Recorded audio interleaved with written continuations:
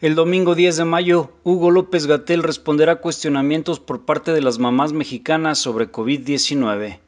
A través de Twitter, la Secretaría de Salud informó que en el marco del Día de las Madres, las mujeres podrán enviar un video con su pregunta a la página web coronavirus.gov.mx. Dentro de la página se encuentra un enlace donde podrán enviar su material que se abrirá a partir del 8 de mayo. Las mamás tendrán hasta las 14 horas de ese día para participar.